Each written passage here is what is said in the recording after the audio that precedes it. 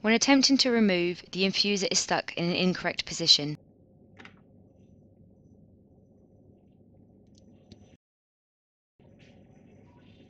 Close the service door and replace the water tank.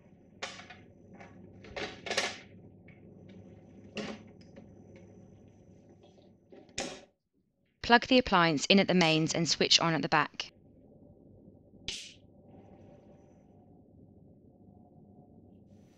Switch the appliance on and allow the infuser to automatically realign correctly.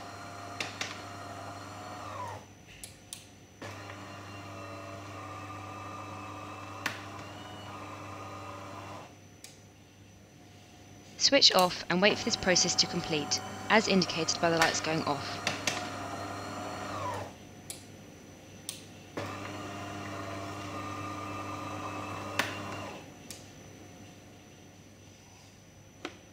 The infuser is now in its correct position and can now be removed.